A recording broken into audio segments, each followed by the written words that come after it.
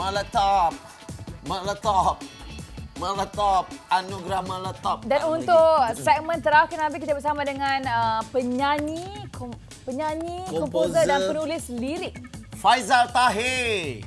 FT. Nama timbangan. Assalamualaikum. Waalaikumsalam, Mam. Ah, Abang Faizal. Yes. Macam rapat. Tak payah abang dia. sangat lah. Oh, ya nak abang sangat lah. Okey. Uh, single terbaru. Assalamualaikum. Waalaikumsalam. Warahmatullahi 2015. Ah. Uh, single terbaru. Assalamualaikum dan banyak-banyak lagi lah. Banyak-banyak lagi? Banyak-banyak lagi mengenai perancangan baru kan? Kita nak tanya soalan ni. Oh. Uh, so awak tanya perancangan saya untuk 2015? Yeah. Yes. Before we go into Oh, Assalamualaikum. uh, setakat ni baru baru release single terbaru iaitu Assalamualaikum.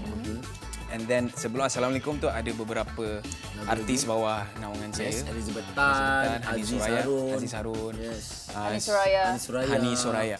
So uh, setakat ni sampai di situ sahajalah okay. rancangan dia. Uh, dan uh, yang lebih kalau nak lebih besarnya tahun ni sebenarnya saya kena deliver satu album ah. Itu je lah. Itu itu the main project untuk this year. For yourself. Yes. Tapi itulah sekarang ni uh, macam kita yang selalu ada dekat dalam industri ni apa semua kan. Abang macam dah ambil you know Elizabeth Tan, Aziz Harun lagi Han apa? Menerbit Hani dan Soraya. mencipta Hani lagu. Soraya dah terbitkan lagu pula untuk diorang. Bila abang start ni jadi penerbit lagu ni apa semua untuk orang ni? Start, dulu ada buat jugalah tapi sikit-sikit ini dah. Saya ada artis sendiri pula, ada label sendiri. Faithful Music. Tak, aku sebenarnya rasa awkward sikit kau tanya aku soalan macam ni sebab selalu bila berjumpa bertepuk tampar Ah, je. itu Tiba-tiba ada. Kau macam Tampar proper dia tu lain macam. Jom kita cium dahi. Ah, bila bila. Ah, actually benda tu dah lama nak buat, dah lama nak buat. Tapi rasanya peluang tu terbuka uh, sebab Astro juga. Uh, saya terima kasih banyak pada Astro sebab masa tu saya uh, terlibat dengan AF. Ah. AF 2013.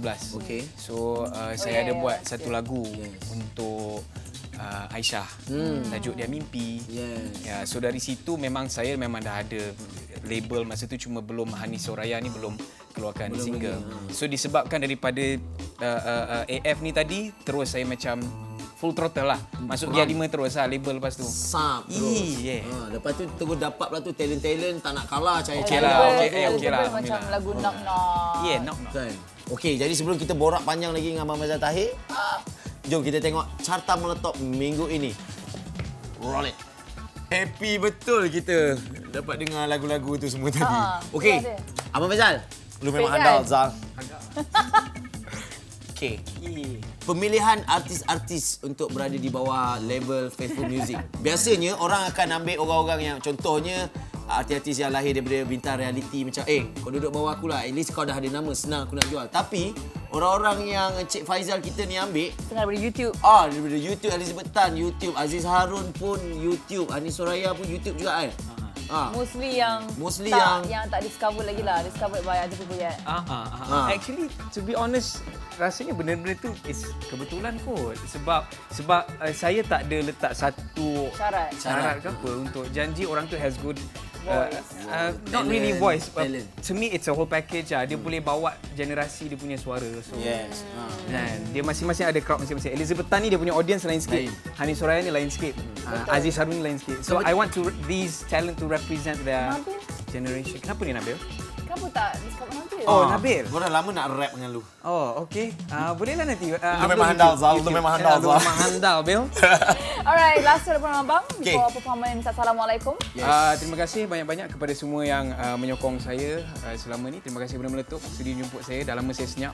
Uh, saya ada uh, dan uh, teruskan support uh, local music industry. Yes. Jadi saya dan juga artis-artis di bawah uh, naungan Faithful Music. Dan Alright. selamat Hari Raya. Apa-apa lagi? Semua sekali lah. Terima kasih. Okay. Dan kita ada promo sikit Nabil. Ah, filem Suamiku Encik Perfect 10.